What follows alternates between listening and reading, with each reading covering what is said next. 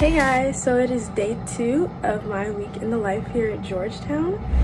So I have two classes today. My first class is at 11, which is my intro to Spanish class. And I have my documentary class at 12.30 right after.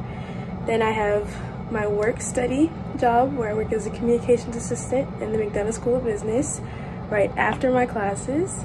And I have practice later tonight so you guys will get some behind the scenes look of our group photos and some of our practices for our upcoming showcase, March 27th if you're interested.